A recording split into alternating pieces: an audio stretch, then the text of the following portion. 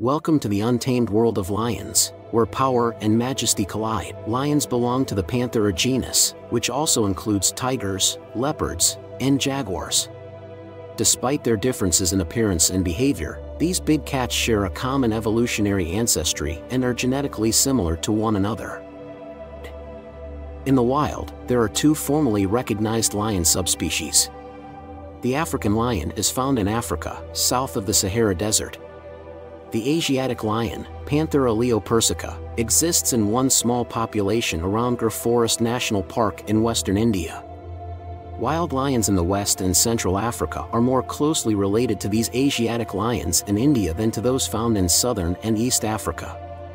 Lions are known for their powerful roars, which can be heard up to 5 miles away. Roaring serves various purposes, including communication within the pride, marking territory, and announcing their presence to other lions. Males bear the weight of 190 kilograms, nearly 30 stone, while their female counterparts carry 126 kilograms. This immense power fuels their hunt for large prey. Young lions have rosettes and spots on their sandy coats, but these generally disappear as they mature. Male lions grow impressive manes the older they get, these manes grow up to 16 centimeters long and are a sign of dominance. The older they get, the darker their manes go. As well as attracting females, their manes may also protect their neck and head from injuries during fights. A pride of lions is usually made up of related females and their cubs, plus a male or small group of males who defend their pride.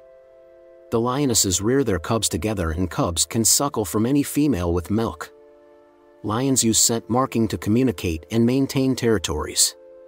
They possess scent glands on their paws and tails, and by rubbing them against trees or grass, they release pheromones that help identify individuals and establish boundaries. Despite their size and reputation as powerful predators, lions are not the fastest runners. They can reach speeds of up to 50 miles per hour in short bursts, but their strength lies in their stealth and teamwork during hunts. Lions do most of their hunting at night as their eyes have adapted to the dark and this gives them a huge advantage over their prey. They hunt more during storms as the noise and wind make it harder for prey to see and hear them. When hunting, lionesses have specific roles.